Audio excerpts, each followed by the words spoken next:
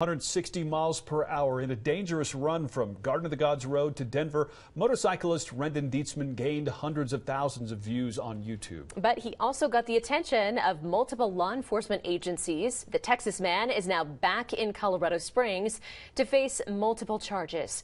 KRDO 13's Annabelle Childers is live in front of the El Paso County Jail where he arrived today. Annabelle.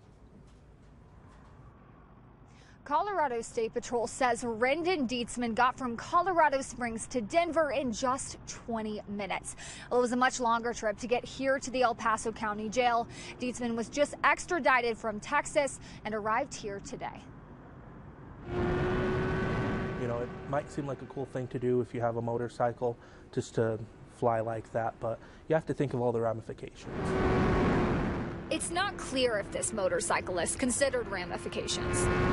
Weaving in between cars and taking tight turns to get from Garden of the Gods to Denver in just 20 minutes. But Colorado State Patrol says they felt confident enough to post it on YouTube, which led troopers to take quick action. Working with law enforcement agencies to identify the alleged culprit, a driver they say is Rendon Dietzman. Dietzman was found in Texas, arrested, and then extradited to Colorado Springs, where he arrived today at the El Paso County Jail. He's facing these charges menacing, engaged in speed contest, reckless endangerment, reckless driving, speeding 40 or more over the limit, engaged in exhibition of speed, and vehicle had no number plates attached. Yet Colorado State Patrol says this could all have gone even worse. I said you're not the only one that's going to be hurt if you uh, end up injuring yourself or end up getting in a crash that turns into a fatality.